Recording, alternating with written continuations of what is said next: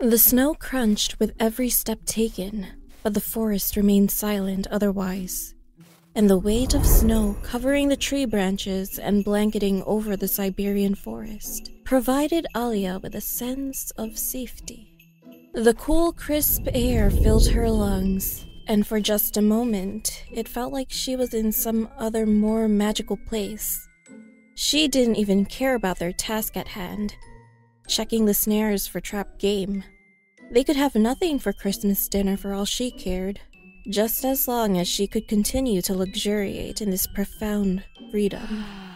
But then the silence was broken, and she was reminded of just how much this day was like any other.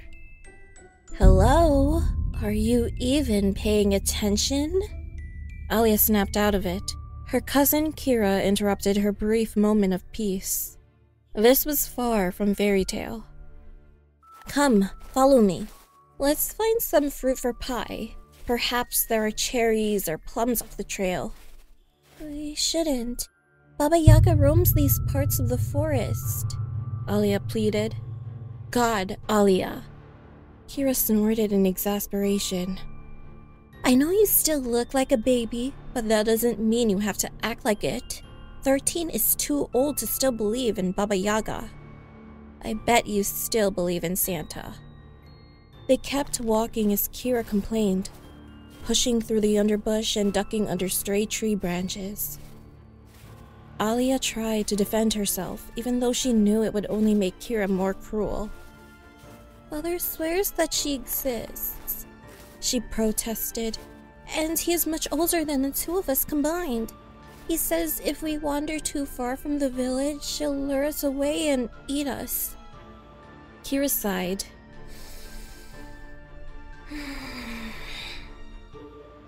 It was a sound that Alia heard a thousand times, and it always made her clench her teeth. You know what, little duckling? Kira stopped walking and rounded on her companion. Your father is a drunk who beats you like a dog and doesn't have two coins to rub together. I bet you're not even getting any Christmas presents this year. Maybe if you pray hard enough, you'll one day find a man who will tolerate you enough to save you from your father, rather than listening to his nonsense. Someone like my dear Dimitri. Alia remained silent as usual. Besides, Kira continued, why should I be afraid of some old hag that lurks in the forest, looking for naughty children to boil alive? I'm young, beautiful, and strong.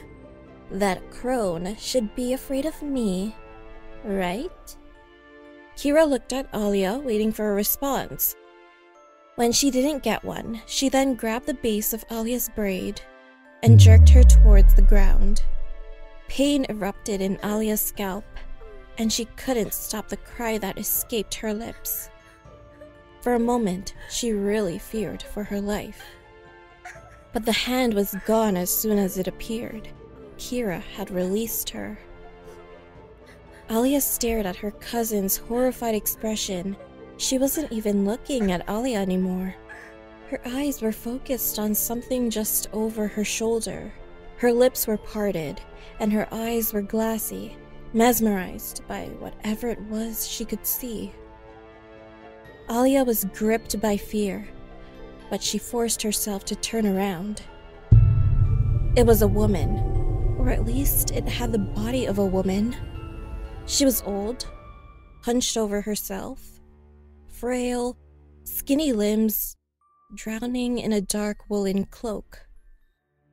What little skin Alia could see was clearly wrinkled and impossibly pale. But that wasn't what held Alia's attention. The white of her face stood in stark contrast to the dark blood running down her chin. It was flowing, dripping, appearing inky black where it landed on the snow.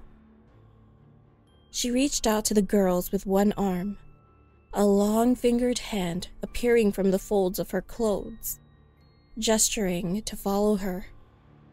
She turned and began to fly away.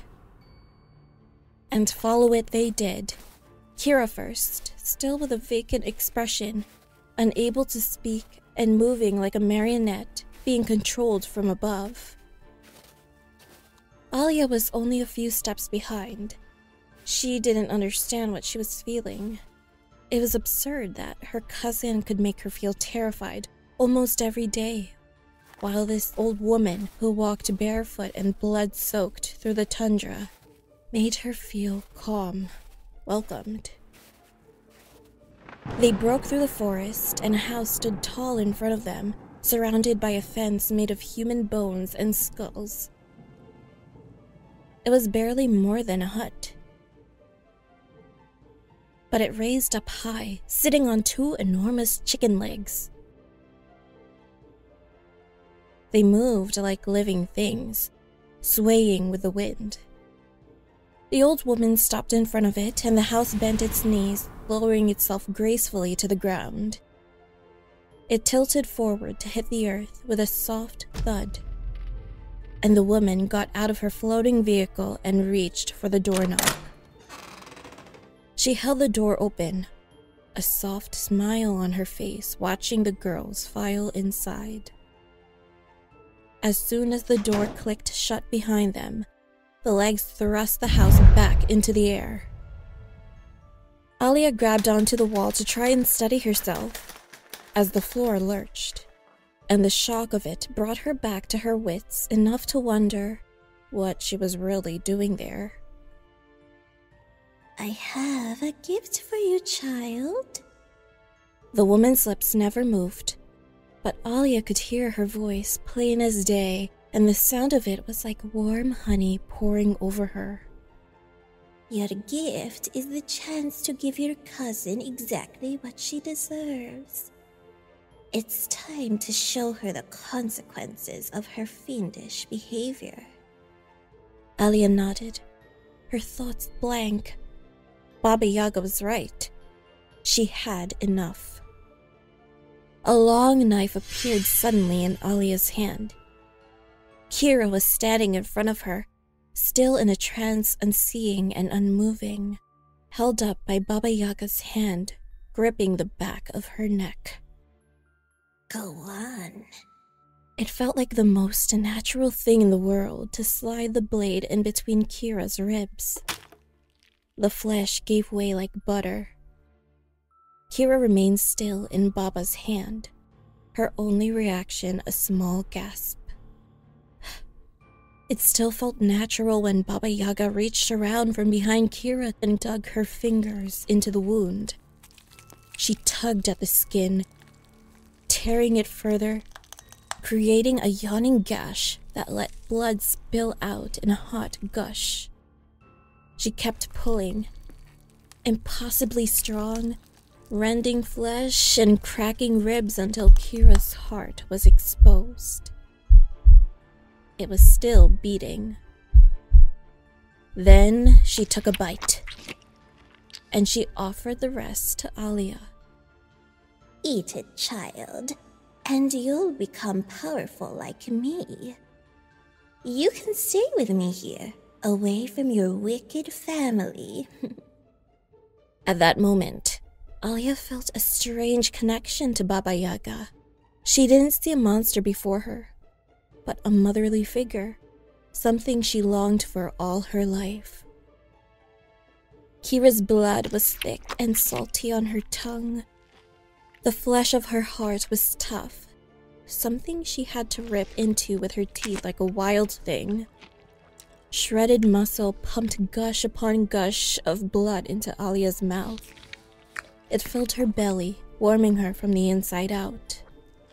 By the time she was done, it felt like she had absorbed Kira's very essence. The corpse fell to the floor with a wet thud when Baba Yaga released it.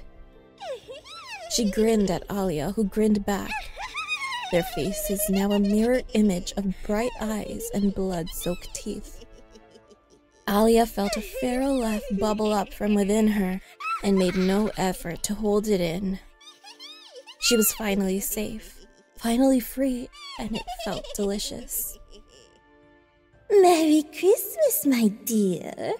Now, hurry, child. There are many, many others that we can save.